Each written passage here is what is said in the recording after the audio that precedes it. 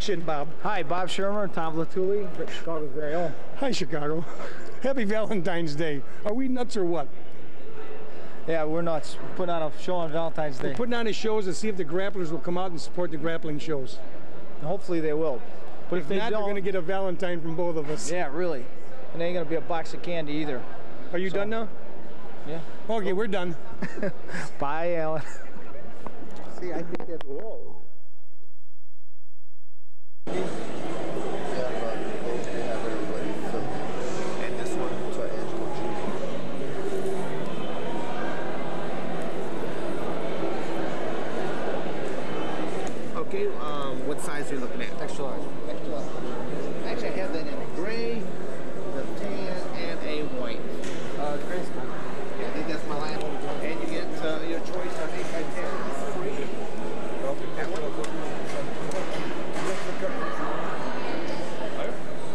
Troszkę, pójdziesz te szorcy,